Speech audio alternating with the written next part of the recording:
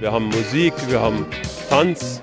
Es erwarten die Münchner aber auch Dinge wie beispielsweise das Handwerkerdorf, wo das Handwerk in Ständen vorstellt, wie sich dieses Handwerk auch wirklich darstellt, wie es wirklich in der, in der täglichen Arbeit sich darstellt. Dann haben wir auch am Museumsplatz das bayerisch-eirische Fest, mittlerweile auch ganz große Tradition. Ich kann nur einladen zu sagen, liebe Münchner, liebe Münchner, liebe Gäste, kommen Sie zu uns in die Innenstadt, feiern Sie mit München zusammen den 861. Geburtstag.